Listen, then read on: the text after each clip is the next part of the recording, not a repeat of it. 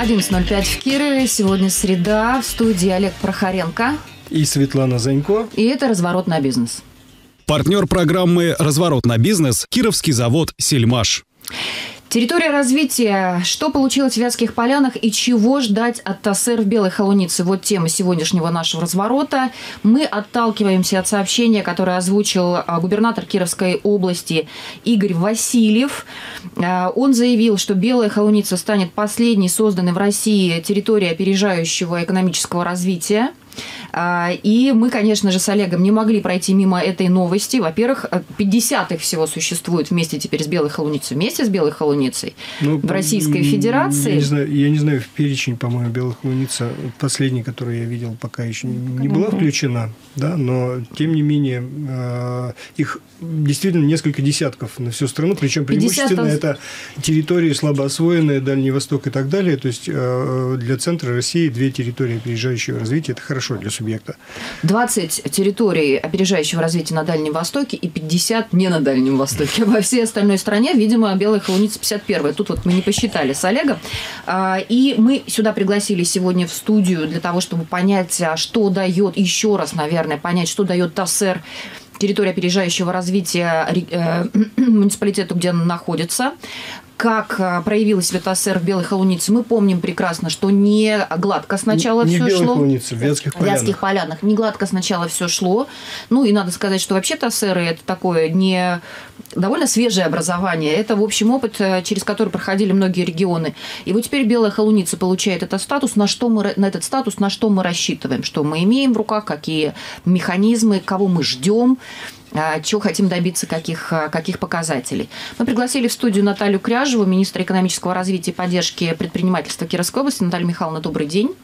Здравствуйте. А, Татьяна э, Телицына, Татьяна Александровна, глава Белохолуницкого района Кировской области. Добрый день, Татьяна Добрый день.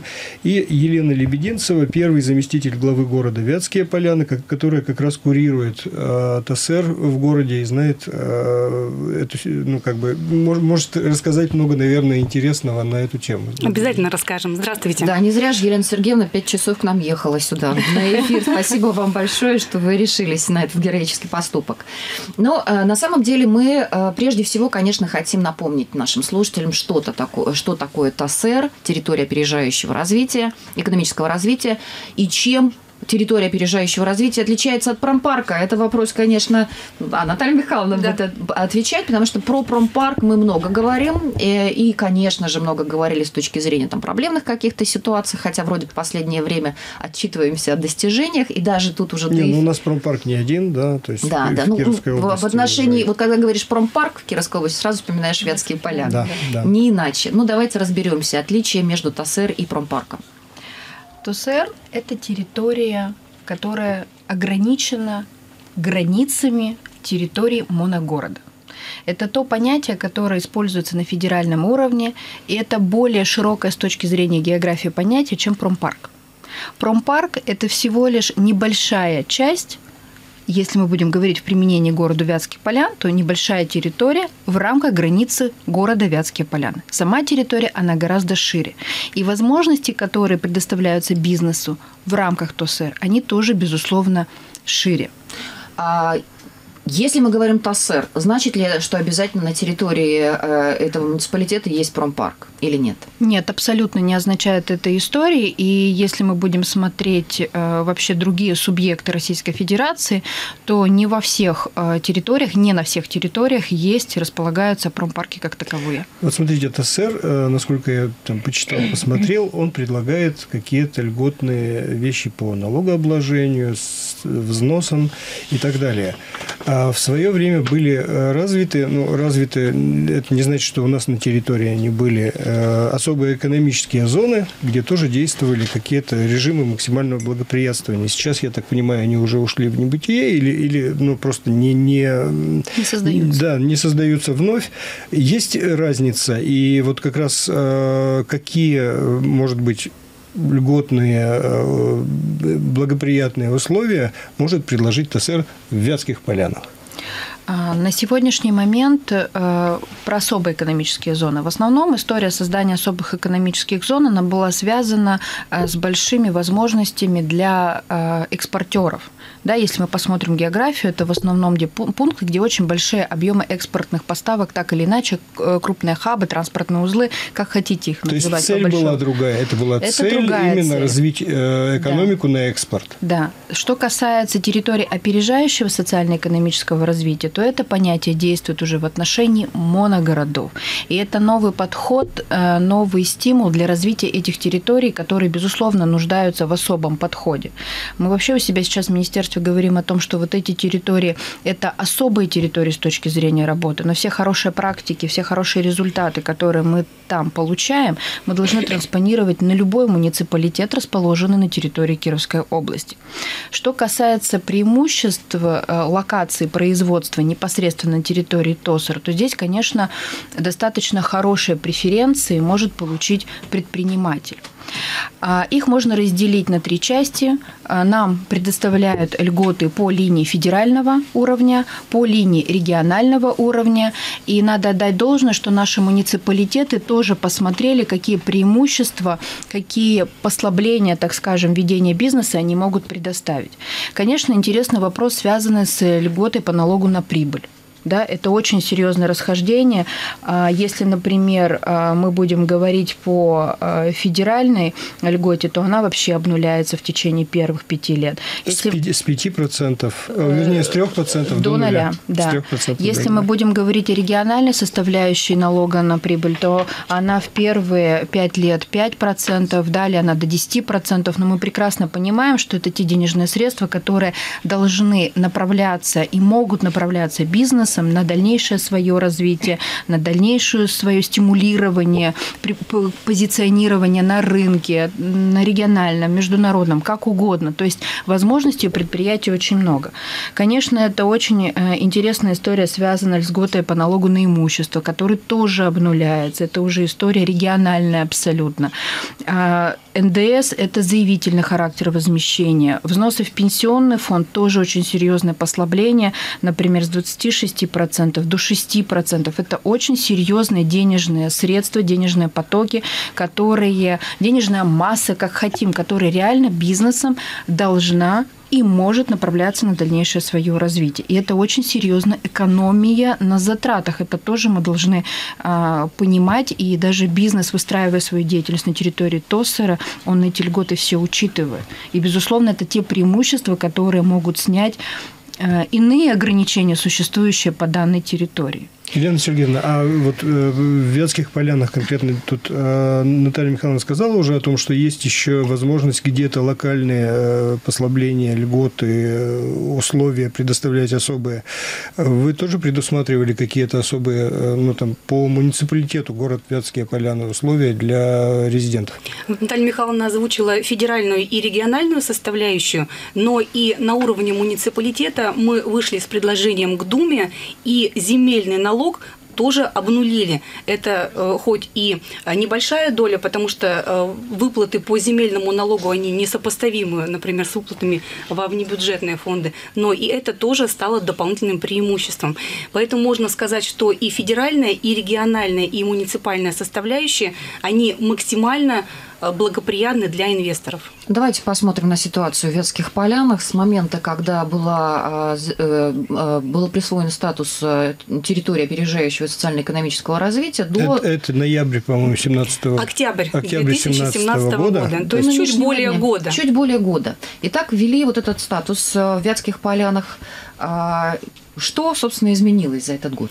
Э, Вятские поляны, конечно, э, всегда искали э, те меры, которые могут быть направлены на повышение инвестиционной привлекательности, и получение статуса ТСР стало очень важным инструментом, который позволил привлечь к нам новых инвесторов. За 2018 год четыре предпринимателя стали резидентами территории опережающего социально-экономического развития. Это производство толстостенной посуды, общество с ограниченной ответственностью НУР – За прошлый год они создали 151 рабочее место. Это производственное предприятие по изготовлению лифтовых механизмов и лифтов, высота 43. Они создали 91 рабочее место. Эти предприятия пришли к нам из других регионов, из Татарстана и из Подмосковья. Это, Третье... соответственно, высота из Татарстана. Высота из Подмосковья, а, из Подмосковья а, Амур из, из Татарстана. Татарстана. Угу. Поэтому вот это уже характеризует э, повышение инвестиционной привлекательности. Мы интересны не только производителям Кировской области, но и других регионов. Э, третьим предприятием стало предприятие Стиплекс. Они изготавливают упаковку и утеплитель. И четвертое предприятие – это производство калиброванных прутков, полуфабрикатов из стали. СМЦ ВП, сервисный металлоцентр Вятские поляны. Э, за это время, то есть за один год создано всего 261 рабочее место. Вы понимаете, что мы боремся за каждое дополнительное рабочее место. Это для нас существенный прирост. Инвесторы э, за год осуществили 77 миллионов инвестиций и получили выручку 613 миллионов рублей. Э, конечно, мы рассматриваем эффективность ТАСЭР еще и с точки зрения пополнения бюджета. За 2018 год дополнительно в бюджет поступило 4 миллиона рублей. Это несмотря это... на выпадающие доходы? Несмотря на, на поблажки по налогообложению. Вот тут надо тоже смотреть э, дополнительно и выпадающие доходы, и дополнительные э, средства, которые получаются, они распостро... распределяются на федеральные, региональные и местные бюджеты. И э, та часть, которая касается местного бюджета, это НДФЛ. Поэтому у нас выпадающих не образовалось, мы э, только получили плюс в виде НДФЛ в размере 4 миллионов рублей. Поэтому, конечно, мы очень э, высоко оцениваем тот результат, который получили. Для города это огромное преимущество.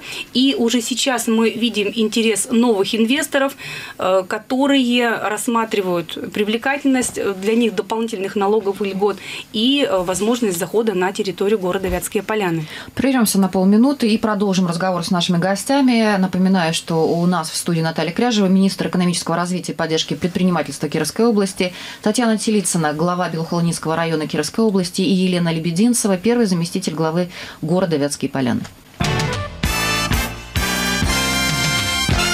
Светлана Занько, Олег Прохоренко, «Разворот на бизнес». Тема сегодняшнего разворота – территории развития. Что получилось в Вятских полянах и чего ждать от ТАССР в Белой Холунице. Напоминаю, что не очень давно, а, буквально 6 февраля, вышли новости где э, э, цитировали, цитировали губернатора Кировской области Игоря Васильева. Он заявил, что Белая Холуница тоже приобретает статус ТОСЭР, территория опережающего социально-экономического развития. И это будет последняя такая территория на уровне страны. Но вернемся к Вятским полянам. Просто нашел такое экспертное мнение известного предпринимателя, руководителя группы компаний «Доронище» Константина Гозмана. Константин Маркович сказал следующее, что Вятские поляны – это территория опережающего развития скорее для Татарстана, чем для Кировской области, аргументировав это тем, что и транспортные потоки завязаны на Татарстан, и интереснее инвесторам оттуда, а если создавать именно для нужд Кировской области территорию такую, то надо ее создавать где-нибудь ближе, там, в Чижах, в Стрижах, в Стрижах, в пределах 50 километров от, от областного центра. Точно. Вот, а... Рядом с аэропортом, рядом с областным центром. Да, и рядом, на... и, и рядом а, там ведь в Стрижах Стрижах э, есть, в общем, предприятие холдинга Доронич. Да, ну, насколько это его, э, этот его тезис соответствует действительности, и так ли уж плохо, что у нас э, вот эти экономические связи с Татарстаном становятся более активными именно для Вятских полян? Но, с Натальей Михайловной начнем. Да, это... Я скажу следующим образом а преимущество, которое дает ТСР, это тот бонус, который мы можем предложить инвестору. инвестор приходит к нам на территорию, он у нас вкладывает денежные средства в наше развитие, он у нас создает рабочие места. Мы у себя, если уж на то пошло, формируем пресловутую налогооблагаемую базу. Можно очень много спорить, где должен располагаться ТОСР, но надо понимать, что когда принималось решение о подаче заявки на а, территорию опережающего социально-экономического развития, именно Белая Холуница, именно Вятские поляны, они тогда проявили максимальную активность и заинтересованность появления ТОСЭРа на своей территории. И поэтому отраднее понимать, что вот э, ТОСЭР в Белой Холунице э, тоже ему быть. Это было сказано с очень высокой федеральной трибуны. Поэтому, безусловно, в своей работе мы должны ориентироваться на любого э, инвестора и, безусловно, работать со своим внутренним. А давайте я уточню тогда, вот, чтобы стало понятно всем, в том числе и мне. А, Все-таки ТАСЭР а, исходя из того, что я услышала уже сегодня, образуется в моногородах только. Да. Или только. Да. Ну, тут стрижи уж никак не подходит, как моногород. Или в удаленных территориях, как Дальний да. Восток. Да, или в удаленных, как Дальний Восток. Там особые вообще условия. Это первое. А второе... Стрижи тоже у нас, моногород. они тоже, а, стрижи моно- тоже, тоже моно- моногород. А, вот в чем дело. Я Тоже думаю, моногород. высказывание именно с этим и было связано в свое время. Ну, вообще он молодец, он правильно сделал. Да, это Вопросов нет. Было развития холдинга Доронича. Ра- Рады, очень, район. почему бы и нет. Там, может быть, как раз э, в конце концов и рекреационные зоны заодно бы развивались, которых так не хватает и кировчанам в том числе. Жаль, что не получилось, на самом деле, можно только пожалеть. Нам бы еще одну экономическую зону, мы бы не возражали, наверное. Нам бы все Михайловна. 11 неплохо. Именно что. Да, и второе, вы сказали про налоги. Вот все-таки надо понимать, вот когда об этом говорят, что приходят а, из других регионов компании, типа вот они у нас тут производят, да, окей, рабочие места, но налоги-то платят не у нас. Вот давайте здесь вот прямо четко Вот скажем. основное условие получения статуса ТОСР – это регистрация на территории ТОСР. Соответственно, раз регистрация, значит, это статус налогового агента со всеми вытекающими обязательствами, возникающими при, при- перед соответствующим региональным и местным бюджетом. Вот поэтому муниципалитету и региону Интересно. интересно, и не важно, откуда приходит инвестор, а важно, чтобы он был надежный. И потом, если я ничего не путаю, то э, две компании э, являются иногородними, а две компании все-таки местные. Да, Кировская вот это результат. Стиплекс, и Да. СМЦ ВП это маркетинг-бюро, насколько Это я Кировская, понимаю, да, Кировская это компания, А два это другие субъекты. Поэтому результат уже показывает то, что интерес, он есть. Елена Сергеевна, тогда давайте разберемся еще с промпарками и тассерами. Промпарк в Вятских полянах уже стал там именем нарицательным за долгие годы. В хорошем смысле или в В плохом? плохом, в плохом. Строили мы, строили, а, что-то там построили, без инфраструктуры, подъездных путей, деньги освоили, никто не приходит. Или там приходит и уходит. А, Непонятно. А Именно введение ТАССЕРа повлияло на развитие промпарка? Или это параллельные такие процессы? Я думаю, были? что это процессы параллельные. Да, был период, когда в Вятских полянах э, слово «промпарк» оно звучало некрасиво, но за 17 и 18 год, благодаря слаженной работе муниципалитета, правительства, эта негативная тенденция была переломлена. Э, Сейчас все шесть корпусов промышленного парка заполнены, там ни одного квадратного метра нет. Э, Резиденты, которые на промышленном парке работают, они надежны, они отчисляют налоги, они э, набирают э, людей, в том числе и из города Вятские Поляны, и преимущественно из него. А а ТАСЭР – это ситуация, она параллельная. И получение статуса ТАСЭР, она, конечно, способствует тому, что и промпарк работает, и инвесторы заходят на территорию города и располагаются на территории города. То За есть- пределами промпарка. за пределами промпарка, да. То есть э, в кадастровых границах города существует ТАСЭР, а в границах города существует промышленный парк, но инвестор, который приходит в город, он может разместиться на промышленном парке, он может разместиться, разместиться на любых свободных площадках на территории города. Но здесь, наверное, есть ограничение и проблема в том, что э, в пром- промпарк он изначально замышлялся именно как пр- промышленный такой кластер, да, и там э, есть соответствующие санитарные зоны от города и так далее. Попробуй размести производство в городе, где и так-то не богата коммерческая инфраструктура, коммерческой недвижимости, а еще и нужно соблюсти все вот эти правила, нормы и, и меняющиеся там пожарное законодательство и так далее. То есть здесь промпарк это такой очень хороший бонус с точки зрения развития ТСР, мне но, кажется. но, Олег, он уже переполнен. Там уже нет помещений. И вот это как раз следующий вопрос. Это, наверное, всем, можно всем вступать в, сейчас вот э, в этот вопрос, потому что следующий будет, конечно, белый холуниц. Вы-то готовы принять на своей территории? Потому что если промпарк уже все, все корпуса заняты, а вы говорите, что к вам обращаются инвесторы в связи с тем, что ТАССЕР еще плюшек добавил, да, бонусов для бизнеса, кого вы ждете и что вы им предоставляете. Вот совершенно верно ведь Олег сказал. Зайти в город с чем? Промышленное предприятие в городе не построишь. Или построишь, а надо ли это горожанам, чтобы было там промышленное предприятие? Да, правильно. Какой бизнес вы ждете? Совершенно правильный вопрос. И здесь э, можно инвестору использовать два алгоритма. Первый – это зайти на территорию промышленного парка и построить там свои корпуса. Есть еще земельные участки? Земельные да, участки да, есть. есть. Общая площадь промышленного парка 96 гектар, свободно 70. То есть площадь, О, она позволяет строите, разместить любое производство, даже то, которое требует существенной зоны безопасности. 96, а свободно 70. 70. О, и один из инвесторов, можно я добавлю, да, Елена да. Сергеевна, Наталья том, что как раз один э, из инвесторов, которого мы очень надеемся, что у нас придет на территорию промпарка, несмотря на ограничения по санитарным зонам, но он очень хорошо вписывается, и он преимущественно свой выбор делает в сторону промпарка, потому что там есть инфраструктура уже есть. Он, есть. Ему уже есть к чему. Мы можем подключать, озвучить, э, с кем ведутся переговоры Напра- сейчас? Напра- или направление хотя бы а, деятельности? Это переработка молока.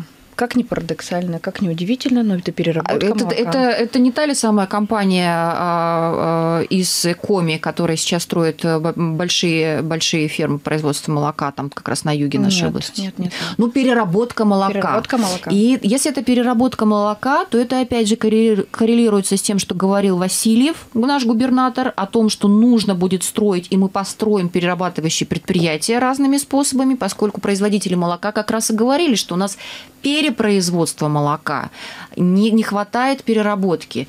Переработка молока, я понимаю, о чем вы говорите, угу. Наталья Михайловна, есть промпроизводство лифтов, есть промпроизводство различных технических материалов, молоко, пищевая промышленность требует а, санитарной зоны. Санитарной и зоны. как раз площадь земельного участка, она полностью э, позволяет разместить любое производство, в том числе и пищевое. Угу. Вернем... Как тебе, Олег, а, а, мы перетягиваем бизнес из Татарстана, где огромные а, международные компании перерабатывают на территории Кировской области? Нормально. У меня э, да. несколько другая, э, другая тема и вопрос. Мне интересно, вот э, сейчас идет, конечно, очень большой шум вокруг мусорной реформы. И понятно, что в перспективе надо будет смотреть в эту сторону, в сторону переработки, не, не просто мусоросортировки, а переработки, а переработки глубокой переработки с производством какого-то э, вторичного продукта, продукта да. Да, из, из того, что уже отсортировано.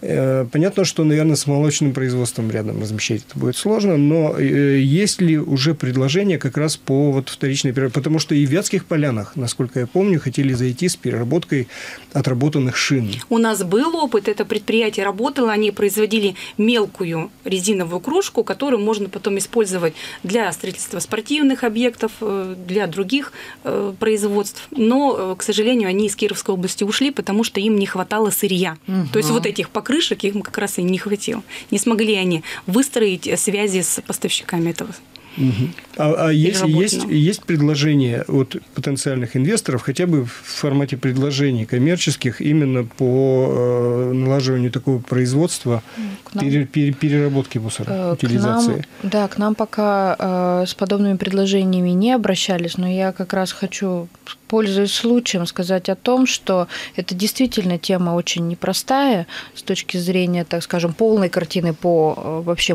реформе ТКО. И, конечно, э, при заинтересованности инвесторов э, мы вполне можем предлагать и территории моногородов, и тех же ТУСРов. Здесь ведь самое главное понимать следующую историю.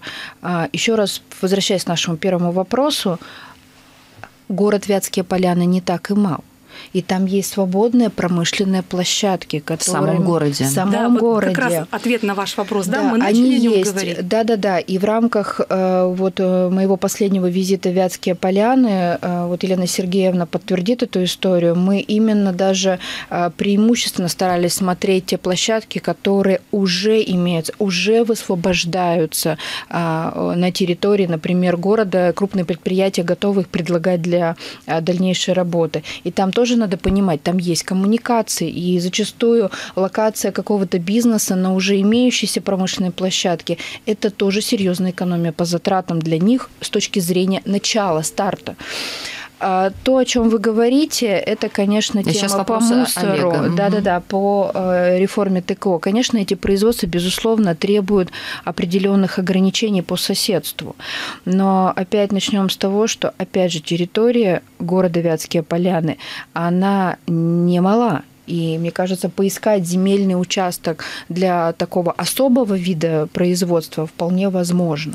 Прервемся на полторы минуты. А, будем параллельно сейчас обсуждать возможности белой холуницы и вятских полян, потому что по вятским полянам а, еще очень много вопросов и про территории, и про то, какие технические зоны высвобождаются. И все-таки выбираете ли вы, как вы бизнес, а, как вы проверяете, кто приходит, это очень важно потому что пришел, ушел, с чем пришел, ушел, какова история этого, э, этой, этой компании и производства. И, но, но после перерыва все-таки мы привлечем э, к, к разговору Татьяну Александровну, э, Телицыну, главу Белохмунинского района Кировской области. Начнем, наверное, Татьяна Александровна, тогда, раз уж речь зашла про территории и площади, вот с этого вопроса и начнем. Партнер программы «Разворот на бизнес» – Кировский завод «Сельмаш». Территория развития. Что получилось в Вятских полянах и чего ожидать от ТАССР в Белой Холунице? Это тема сегодняшнего разворота на бизнес. А, Светлана Занько, Олег Прохоренко, ведущий. И еще раз гостей а, представим тем, кто только что подключился к Это нашему Наталья эфиру. Кряжева, министр экономического развития и поддержки предпринимательства Кировской области, Татьяна Телицына, глава Белохолуницкого района, и Елена Лебединцева, первый зам главы города Вятские поляны. А, мы закончили, вот э, до перерыва разговаривали по наличию площадей площадок свободных для того, чтобы было куда инвестору прийти, Вятских разместиться полян. в Вятских полянах. Э, и хотелось бы спросить Татьяну Александровну, Телицыну, главу Белохолуницкого района, а как обстоят дела э, как раз с площадками в э, муниципальном поселении, городском поселении Белая Холуница, где тоже в перспективе, я думаю, что ожидается приход инвесторов. Территория опережающего социально-экономического развития в Белой Холунице отличается тем от Вятских полян, что территорию нам одобрили не на город, а на все городское поселение. То есть городу Белая Холуница прикреплено юридически еще 9 сельских населенных пунктов, и они все находятся в границах одного муниципального образования Белохолунское городское поселение. И как раз заявку на создание территории мы направляли на все Белохолуницкое городское поселение, поскольку в самом городе количество свободных свободных земельных участков ограничено, и тем самым, э, заявляя э, на поселения мы расширили перечень земельных участок, участков и возможностей для инвестора.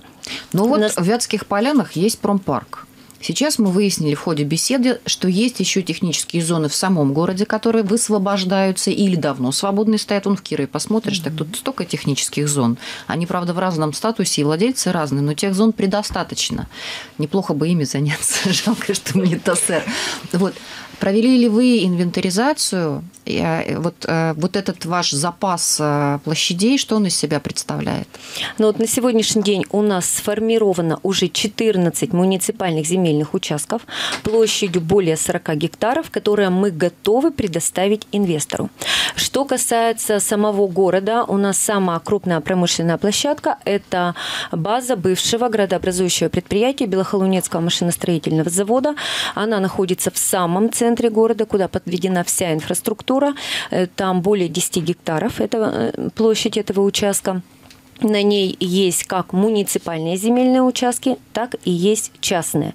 Поэтому эту площадку также можно рассматривать потенциальным инвесторам. Вот это очень интересный вопрос. Поясните, пожалуйста, а, а, когда приходит инвестор в ТАСЭР, они могут размещаться, вот эти новые предприятия, только на муниципальной земле или они могут контактировать с частниками? Они могут размещаться на любой земле, в любой собственности. Главное условие, что они должны быть зарегистрированы на нашей территории и отвечать тем требованиям, которые будут предъявляться к резидентам ТАСЭР. Наталья Михайловна, прости, пожалуйста, Олег, да? просто по налогу земельному тогда хотела я уточнить.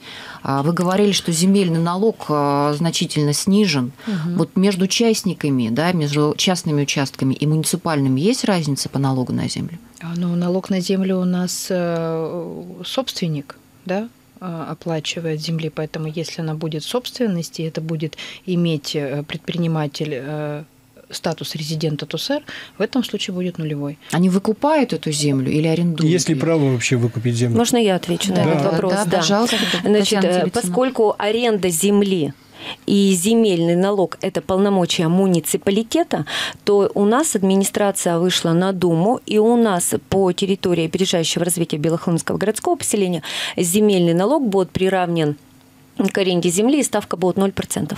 То есть здесь без разницы либо собственность, либо аренда. Вот в данном случае у нас Но от вы, земли. вы будете, то есть э, возможность для выкупа, если это долгосрочная перспектива, инвестор хочет построить свою недвижимость, выкупить участок и как бы развиваться дальше на этой территории, э, возможность для выкупа есть. Конечно. Территория опережающего развития дается на 10 лет с момента заключения соглашения. То есть в этот период он может строить на свободном земельном участке, выкупать, реконструировать, это будет уже право инвестора.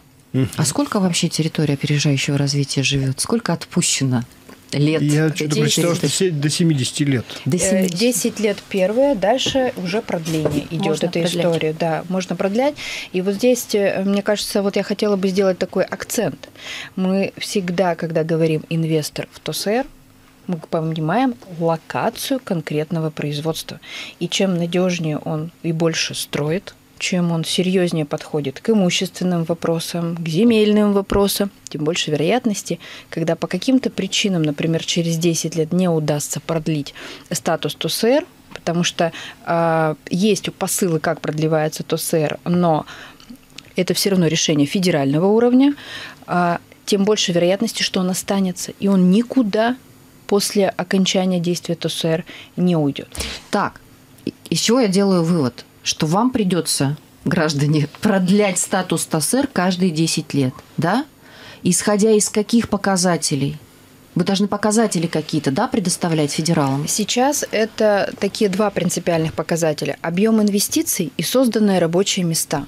Мне кажется, для начала как раз бизнеса это, безусловно, такие определяющие для любой Нет, нет, территории. нет, Светлана имеет в виду немножко другое, мне кажется. Почему? Нет, как П- раз- Признаки, э, ну, что необходимо, чтобы подтвердить статус ТАСР. Ну, ну вот. Статус. Да, Вы можете, это подожди, это 10 при- лет Да, значит- нужно Да. будет предъявить, сколько создано рабочих мест и объем инвестиций, которые привлекли. И дальше уже будет там наверху смотреть, продлять статус Есть ТАСР смысл или нет? Но федерация сейчас, почему вот, кстати, тоже тема, почему вот сейчас такая определенная граница проведена а, по поводу создания, не создания дальше э, этого механизма как территорию социально-экономического развития.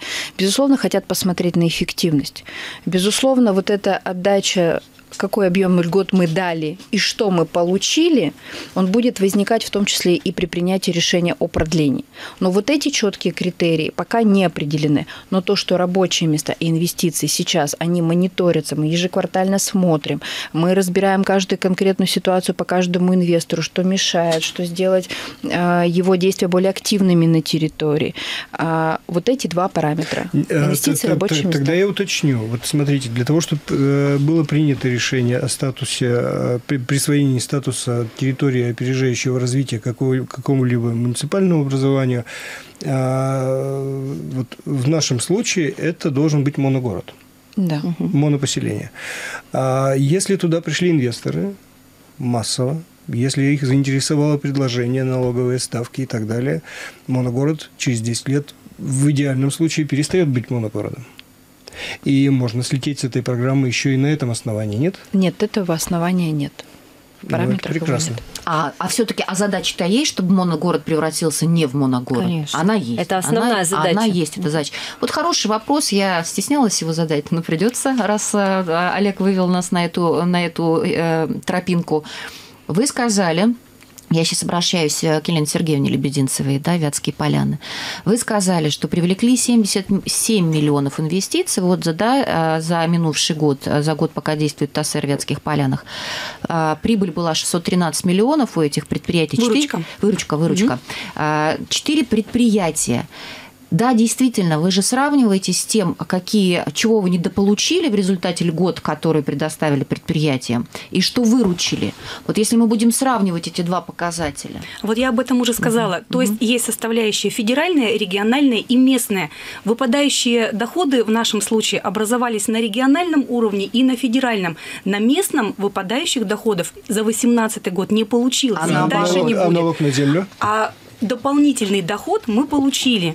То есть мы получили 4 миллиона в виде НДФЛ. НДФЛ. Но когда мы готовились к этому эфиру, мы э, посмотрели цифры и по региональному бюджету, и по федеральному. Спасибо и, вам большое. Да, и получилась вот такая картина, что э, предоставленные преференции, они все равно меньше, чем э, те дополнительные налоги, которые получены. Давайте вот назовем. Пробежимся, цифры. да, вот федеральный уровень, полученные преференции 17 миллионов, а налогов 29. И региональный бюджет, полученные преференции практически 4 миллиона, а уплачено в бюджеты 11. Что? То есть это на цифрах характеризует то, что механизм, он работает, и он дает не только социальный эффект, что люди остаются в городе и не уезжают, но и очень существенный, наглядный экономический эффект. Здесь вопросы все создание тогда. налогооблагаемой базы с да. нуля, то есть никак, ничего да. не было и появилось новое производство, а даже при минимальных налогах это все на плюс. И вот тут у нас остается полтора минуты до завершения первого часа. Мы, кстати, про социальную составляющую обязательно поговорим во втором часе, а начнем с белой холуницы э, второй час. И вот тут, когда я вот эти цифры вижу, я понимаю, почему китайцы сделали так, как они сделали когда они а, просто обрушили налоговую базу, и какой бум пошел а, предпринимательства абсолютно на всех уровнях, на всех. И тут вопрос, конечно, не к вам, граждане, но ведь мы обсуждаем стратегию социально-экономического развития региона и обсуждаем стратегию социально-экономического развития страны. И у меня, как у обывателя, не профессионала, возникает вопрос, почему только в 70 зонах? Почему не во всей стране так сделать? А, не прошу вас сейчас ответить на этот вопрос, задам другим людям при случае. Сейчас мы прервемся на, на новости, тематические программы и рекламу. Напоминаем, что в эфире а, продлится после 12, 12.06 ровно. Мы снова стартуем программу «Разворот на бизнес». Говорим мы о территориях особого социально-экономического развития в Вятских полянах и Белой Холунице. В студии у нас по-прежнему будут Наталья Кряжева, министр экономического развития и поддержки предпринимательства Кировской области, Татьяна Телицына, глава Белохолуницкого района Кировской области, и Елена Лебединцева, первый заместитель главы города Вятские Поляны. А, сейчас уже Мария Кожевникова в студии. Новости у нас.